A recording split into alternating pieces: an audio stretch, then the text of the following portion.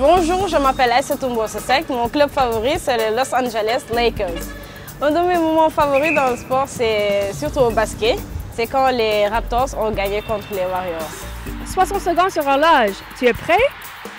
Top! Quel pays va accueillir la Coupe du monde de basket masculine 2019 11 ans après les Jeux olympiques? La Chine.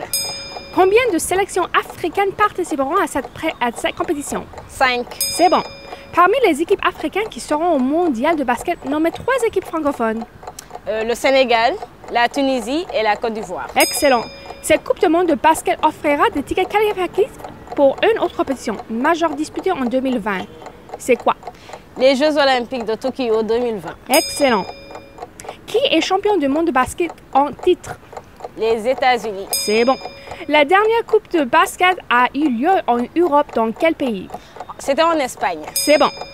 Quel Américain a été le MVP de la Coupe du monde 2014? Kyrie Irving. Parfait. Pour éviter la concurrence de quel grand événement sportif la FIBA a-t-elle déclaré la tenue de Coupe du monde de basket aux années impaires? Euh, la Coupe du monde du football. C'est bon. Et la temps s'est écoulé. Félicitations, vous avez eu oui.